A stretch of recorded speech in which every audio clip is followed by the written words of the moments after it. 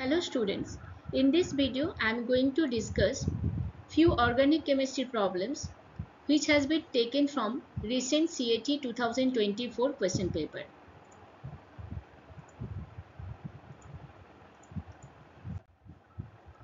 In the given sequence of reaction identify P, Q and S respectively.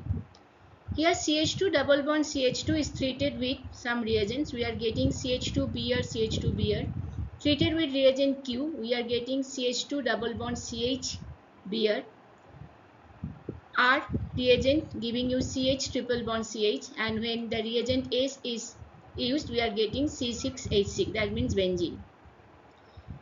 So when CH2 CH2 is treated with bromine, we are getting vicinal dihalide.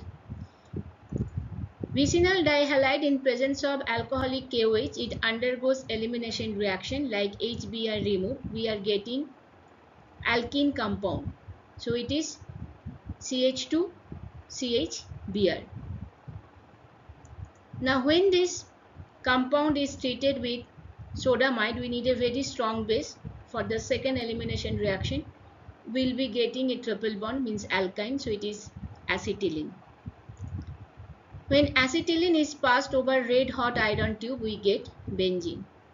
That means correct option is D where P is bromine, Q alcoholic KOH, R sodamide NaNH2 and S red hot iron tube.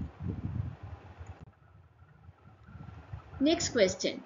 Sodium ethanoate on heating with soda lime gives X Electrolysis of aqueous solution of sodium ethanoate gives Y.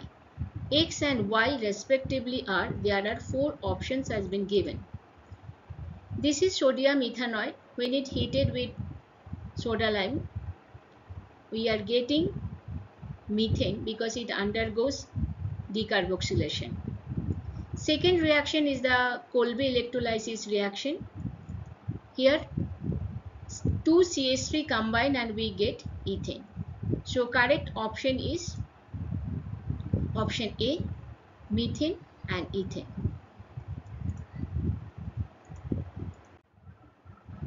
Propanone and propanal are which isomers?